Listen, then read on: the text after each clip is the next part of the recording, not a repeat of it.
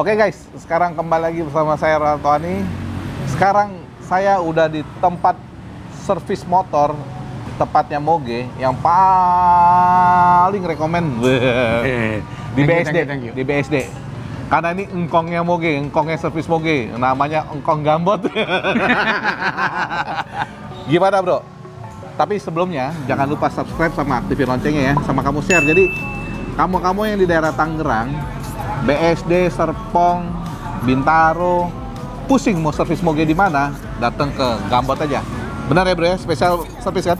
Bukan BSD, Gading Serpong. Oh, nggak ada Serpong. Aha. Maklum, saya orang jauh, nggak tahu. Jadi gimana bro? Udah berapa lama bro? Berdirinya Ya. awal mualanya gimana bro? Gambot moge gimana? 16 tahun ya. Dulu kita itu awalnya dari bengkel resmi Yamaha. Tapi kondisi itu di Palembang. Hmm. Nah, pindah ke sini, saya ngeliat ya waktu itu memang moge masih dikit. Tapi ada ada peluang lah ya buat bisnis ini meskipun ini adalah bisnis niche, tapi ada ada kemungkinan bisa gede. Maka kita dari kebetulan saya hobi moge itu dari tahun 97. Saya waktu itu punya VLX 600. Nah, itu kita bongkar segala macam sendiri, kita belajar dari motor kita sendiri. Nah, pas tapi dulu di Palembang kita cuma sendiri. Oh, sendiri. Karena belum ada yang punya. gitu. Ya kan? Jadi Nah, motor sendiri, bongkar sendiri, sendiri, belajar sendiri, pakai motor sendiri. Nah, pas pindah ke Jakarta, tak tahu waktu itu di sini ada BOCT, Bayangkara Otomotif Club Tangerang. Ah. Nah, adalah moge itu antara Tangerang dan Bintaro itu kurang lebih sekitar 20 sampai 25 motor lah. Ah. Nah, saya pikir wah ini ada ada peluang bisnis juga. Saya coba terima mereka buat servis. Puas mereka. Nah, ya itulah dari mulut ke mulut sampai Ah. adanya hari inilah. Jadi yang lu servis apa ya bro yang lu terima? Semua moge, Semua moge yang penting halal aja kita nyari duitnya. Jepang, Jepang, Eropa, Harley. Jep- eh, saya agak kurang main itu BMW ya, karena nggak ada spare partnya satu. Ah. Sama Eropa juga nggak terlalu. Lebih lebih fokus Jepang. ke Jepang sama Harley lah kita. Jepang sama Harley. Ah, Jadi ah. kamu-kamu pemilik Harley Davidson, seluruh Bintaro, Tangerang, BSD. Terus apalagi dekat-dekat sini lah. Ada story nggak bro? Eh, story nggak ada. Ah, jadi juga bisa dijemput, bisa diantar. Benar ya bro ya? Iya. Harganya harga friend juga. Oh iya dong. Kan kita hidupnya di komunitas. Nah, jadi servis apa aja bro? Dan berapa biaya servisnya? Buat tergantung ya. Kayak orang cuma ganti Nah, busi, itu- ganti oli. turun mesin. Ya, busi, oli, perawatan rutin. Wah, ini macam. namanya motor Kawasaki Jet 1000 nih. Ini zamannya film apa bro? Chip, Chip. Eric Extrada. Wah, ini motor leg- legend juga nih. gitu. Kalau kayak turun mesin gini kira-kira habis berapa, Bro? Eh, Tergantung apa yang rusak, tapi kalau jasa sih kita patok 2 juta setengah. Jasanya ya. Kalau Iya. spare part tergantung apa yang rusak. Iya, apa yang Nah, rusak lah. Kita lihat. Jadi Suzuki, Kawasaki, kebanyakan Jepang. Ya, Harley juga, itu Harley semua kita kerjain. Waduh, ini Nah, apa- ini ini Harley pura-pura nih nggak apa-apa nih. ini oh ini anak-anak apa namanya? Raptor. Ya, Eh, Raptor apa apa namanya? Nggak tahu juga saya. Rebel, Rebel ya, Rebel ya. Bukan bukan Apa? Rebel ini. Apa namanya? Dailim ya? Apa apa ini? Raptor. Oh Kaisar. Kaisar. Kaisar pun kita kerjain. Jadi guys, kamu-kamu yang bingung punya motor Kaisar, Jialing, apalagi mas yang baru yang 200 cc itu ya, 250 ya? Rebel ya, Rebel apa apa deh? Rebel 500 dong. Honda. Bukan, ada ada yang kayak gini juga. Pusing mau servis di mana datang ke Gambot aja dilayani juga nih. Jadi dia nggak pilih-pilih, ya. Godain jadi Harley nih mas. Saya dulu- awalnya kan gini. Saya dulu taruh Suzuki Tornado. Iya, awalnya gini. Waduh. Naik sporter biasanya. Nah, baru naik ultra Iya. dia.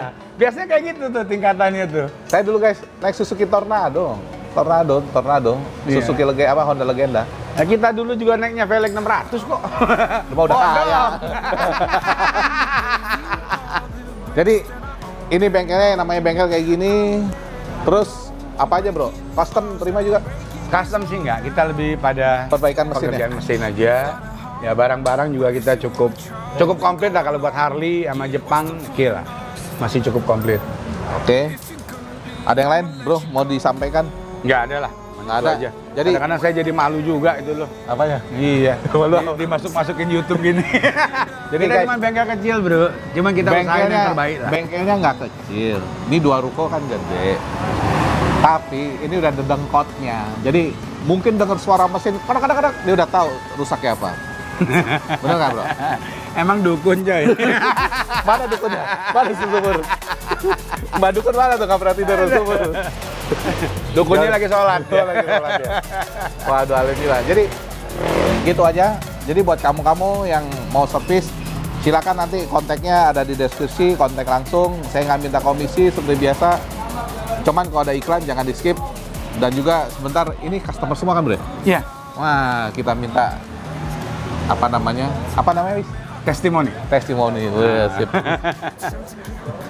Selamat siang, Bro. Masuk TV sebentar ya, Bro. Jadi, nggak apa-apa, Bro. Nggak apa-apa, Bro. Jadi, ini customer-customer dari Engkong Gambot. Nah, gimana, Bro? Servis di sini gimana, Bro? Harganya, kualitasnya? Ya, kalau di sini kita bicara harga itu emang harga nggak bohong. Nah, nggak bohong ya, harganya nggak Ya. bohong. Kalau di sini ya harga kurang lebih mahal tapi worth it. Apa Ah. yang mesti diganti diganti. Yang penting puas lah ya. Wah, Ah, mantap. Kita berani Daripada beli capek. gede dengan harga yang lumayan, Ah, berani ngeluarin duit buat masalah. siap. Daripada murah bolak-balik nggak kelar-kelar Oh, iya. ya, bener ya. Habisin waktu. Iya. Oh iya, namanya siapa bro? Andy bro. Hendy. Yap. Oh nih, Bro Hendy ternyata. YouTuber juga tuh. Oh. Rumahan tapi. YouTube apa YouTube-nya bro? Nah, Saya masukin beneran. oh, super. bro Hendy. Brother gimana bro? Bro siapa dengan siapa bro? Ruli bro. Ah gimana bro ini? Kalau di sini barang di luar nggak ada, di sini ada. Wah ajaib lah gitu. Pokoknya di luar nggak dapat barang, di sini pasti ada. Nggak ada pun bisa diadain ya. Bisa Inden ya. Bukan main di sini. Bukan main ya. Oke berarti. Udah ada duit. Brother gimana pak? Wah, sama deh. Itu Sama ya? Sama ya? Jadi guys, kalau satu itu biasa, tapi kalau tiga-tiganya udah oke, jangan ragu buat ke sini. Gitu aja. Sekian, terima kasih. Jangan lupa terus apa? eh, terus tonton YouTube Ronald Tuani. Gitu ya, terima kasih ya. Yuk, dah. Dah, dah, om, om gamet dah dong.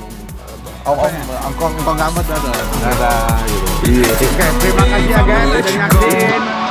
Bye.